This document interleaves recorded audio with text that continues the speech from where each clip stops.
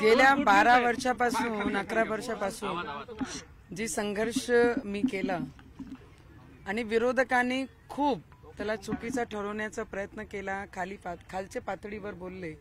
खालच्या पातळीपर्यंत ते प्र, प्रत्येक गोष्टी नेलं आणि एक माजी सैनिकाची मुलीला आणि एक बाईला कुठपर्यंत त्रास द्यायचं कुठपर्यंत त्रास घ्यायला मजबूर करायचं ते त्रास मी गेल्या दहा बारा वर्षापासून अमरावतीमध्ये सून म्हणून आणि त्याच्यानंतर जे, जेव्हापासून राजकीय क्षेत्रामध्ये आली आपण मेहनत नाही करू शको शकतो.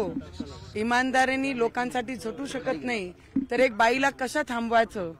या तर तिच्या चरित्रावर बोलायचं आणि या पद्धतीने तिला कोर्टामध्ये फसवून आणि तिच्या परिश्रमच्या शेवटच्या टोकापर्यंत तिची बदनामी करायचा हे जे प्रयत्न चालला होता गेल्या दहा बारा वर्षापासून महिलाच्या सं- जीवनात संघर्ष हा जन्मालाच वाटेला येते आणि शेवटच्या टोकापर्यंत राहते.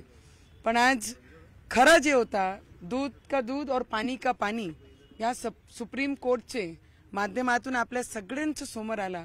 त्याच्याबद्दल मी आपले सुप्रीम कोर्टचे मनापासून धन्यवाद करते की हे नवनीत राणाचा विजय नाही आहे हे आमचे रा- छत्रपती शिवाजी महाराजांचे विचारावर चालणारे डॉक्टर बाबासाहेब आंबेडकरांच्या विचारावर चालणारे त्यांचे मुलं जे मायेसारखे माझे रूपामध्ये या क्षेत्रामध्ये लोकांच्या सेवेसाठी आहे.